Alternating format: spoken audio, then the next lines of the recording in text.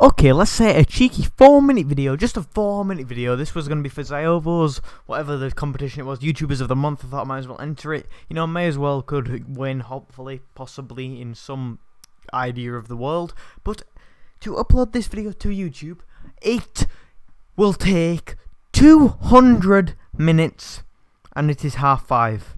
Therefore, I only have an hour and a half. Therefore, I do not have enough time to upload the video in time for 7 o'clock. And if I can't do it by 7 o'clock, then there's no point. So you'll be expecting that video tomorrow. This was just a very quick update one, and you'll expect a lot of these because I'm going to have to get really far in front of my uploads for me to actually, you know, upload, even though I have the videos done. You know, a normal person would have gotten this video done by about half five, yeah, uploading it would have done in 10 minutes, done, great, but nope, goodbye.